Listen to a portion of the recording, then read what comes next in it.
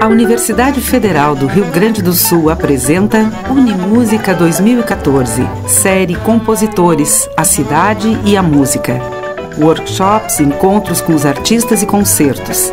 Apresentações sempre às 20 horas no Salão de Atos da URGS. Retire sua senha três dias antes do espetáculo através da troca de um quilo de alimento. Dia 7 de agosto, Radamés Inhatali, por Olinda Alessandrini, Zeca Assunção, Toninho Ferragutti, Paulinho Fagundes e Oscar Bolão. Direção de Arthur de Faria.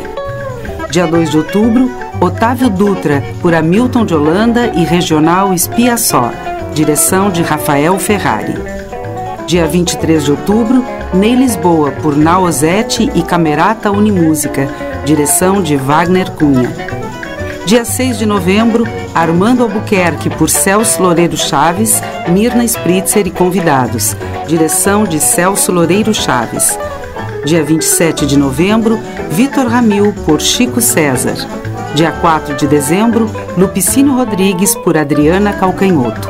Dia 17 de dezembro, Barbosa Lessa por Yamandu Costa e Camerata Pampiana do maestro Tasso Bangel.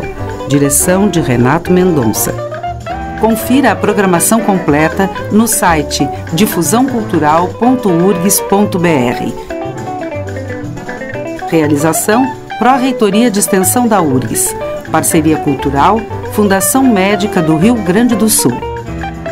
Apoio Rádio da Universidade, URGS TV, TVE, FM Cultura, Estúdio Soma, Mínima FM, Patissier, Hotel Lagueto Verone e Person Piano.